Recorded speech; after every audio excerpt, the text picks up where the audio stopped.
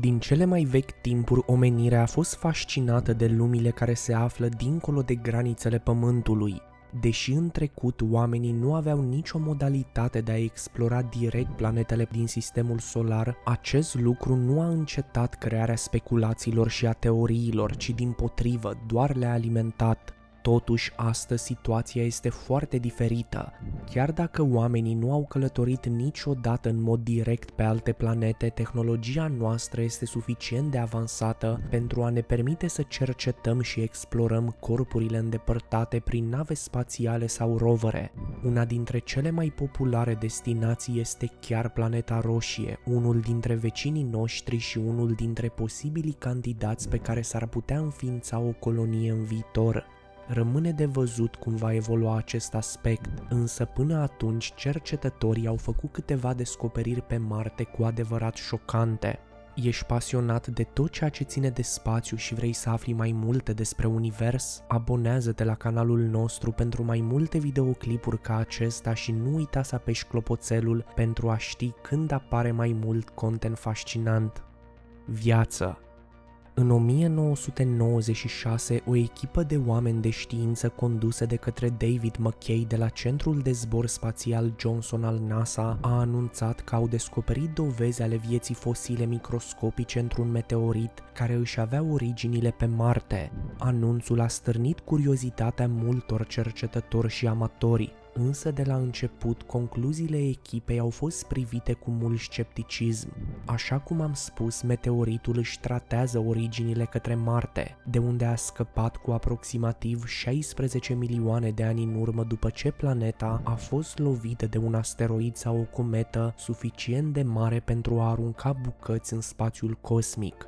Fragmentul de 2 kg de rocă marțiană s-a deplasat apoi pe o orbită eliptică în jurul Soarelui până când a fost atras de Pământ în urmă cu aproximativ 13.000 de ani. Acesta a aterizat în Antarctica, o locație foarte populară pentru vânătorii de meteoriți, unde a rămas până în 1984, când o echipă de vânători l-a descoperit în dealurile Alan. Exemplarul a fost desemnat ALH 84001, iar la început nimeni nu a bănuit că ar fi putut veni de pe Marte.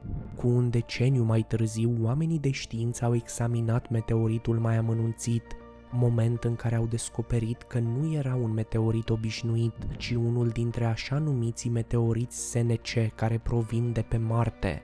Pe lângă originea lor, lucrul care face această clasă de meteorit specială este faptul că toți conțin urme de gaz cu o compoziție identică cu atmosfera marțiană. Fiecare dintre ceilalți meteoriți SNC cunoscuți atunci s-au cristalizat în ultimul miliard de ani, după ce Marte a devenit un deșert înghețat. Cu toate acestea, ALH84001 are peste 4 miliarde de ani, așa că probabil a existat într-o perioadă în care apa lichidă era pe suprafața marțiană. Din moment ce apa este absolut esențială pentru prezența vieții așa cum o cunoaștem noi, meteoritul a atras atenția cercetătorilor care au crezut că obiectul ar putea deține dovezi microscopice și chimice ale unei potențiale vieți antice pe Marte.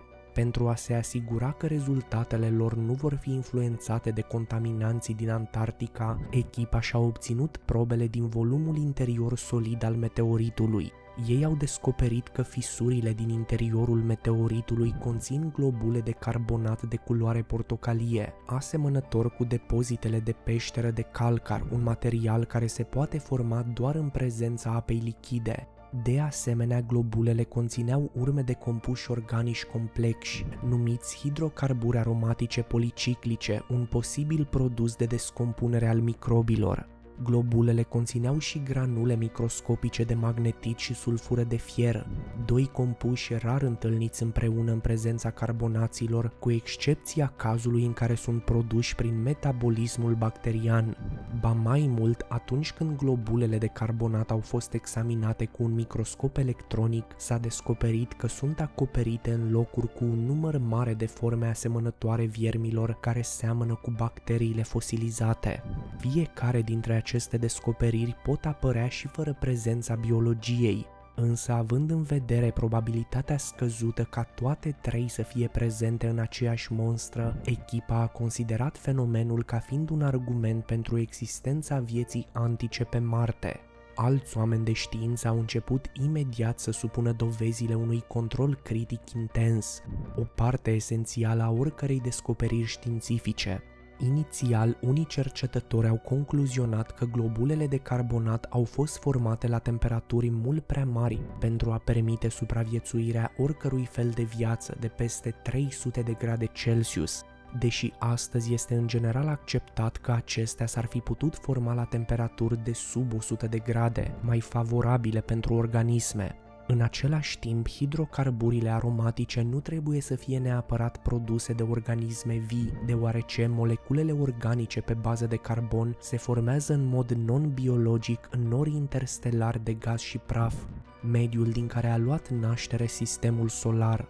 Dovezile din boabele de magnetit și sulfură de fier sunt mai substanțiale, deoarece seamănă foarte mult cu cele produse de bacteriile terestre. Până în momentul de față nu se cunoaște niciun alt mecanism non-biologic prin care astfel de materiale pot fi formate. Totuși, cercetătorii rămân sceptici în privința obiectelor care seamănă cu bacteriile fosile, deoarece procesele non-biologice pot produce adesea obiecte care seamănă superficial cu bacteriile. Nu doar atât, însă ele au doar câțiva nanometri în diametru, echivalentul la o zecime din dimensiunea celor mai mici bacterii de pe Pământ. Conform cercetătorilor, ar fi nevoie de un volum egal cu o sferă de 200 de nanometri pentru a putea menține în viață o bacterie. Deci, așa numitele fosile de pe Marte sunt mult prea mici pentru a avea proveniență organică. Apă Deși existența vieții pe Marte încă rămâne contestată, nu se poate spune același lucru și despre prezența lichidului esențial vieții, apa. De fapt, există dovezi care sugerează că în trecut apa ar fi curs liberă pe suprafața marțiană. Acum NASA a descoperit urmele valurilor de apă antică pe planeta roșie. Roverul Curiosity, un robot de dimensiunea unei mașini care cutreieră suprafața marțiană de mai bine de un deceniu, a realizat fotografiile unei formațiuni geologice ciudate la mijlocul lunii decembrie anul trecut. Oamenii de știință care participă la misiune spun că valurile de apă care scăpau dintr-un lac de mică adâncime au creat aceste șansuri, nu foarte diferit de modul în care nisipul este deranjat de valurile mării. Deși cercetătorii au analizat și alte lacuri antice în trecut, niciodată nu au dat de dovezi precum acestea, așa că surpriza a fost cu atât mai mare când urmele de apă au fost descoperite într-un loc la care se așteptau să fie uscat. Timp de ani de zile, cercetătorii au găsit semne că planeta obișnuia să fie cândva scăldată în râuri și lacuri. Chiar în primul an al misiunii lui Curiosity, roverul a trimis înapoi către Pământ imagini cu albia unui pârâu erodată și uscată, cu pietricele rotunde bogate, similare cu cele formate pe pământ din apa curgătoare. Oamenii de știință sunt atât de interesați de apa de pe Marte pentru a demonstra definitiv că planeta roșie a fost cândva umedă, caldă și mai asemănătoare Pământului. În special, cercetătorii vor să afle dacă Marte a fost vreodată locuibil deși nu ar fi avut niciodată posibilitatea de a evolua atât de mult precum pe Pământ, aflarea faptului că viața microscopică a existat cândva pe Marte ar putea demonstra odată pentru totdeauna că altă viață poate exista în univers. Ba mai mult, existența apei pe Marte poate fi importantă și pentru viitorul nostru. Nicio altă locație din sistemul solar nu este la fel ca și casa noastră, Pământul, însă nu este clar cât timp vom mai putea supraviețui aici, Deși multe persoane consideră că omenirea va dispărea cu mult timp înainte ca pământul să înceteze să mai fie locuibil, există și oameni care consideră că singurul mod prin care omenirea va putea supraviețui în viitor este să părăsească planeta.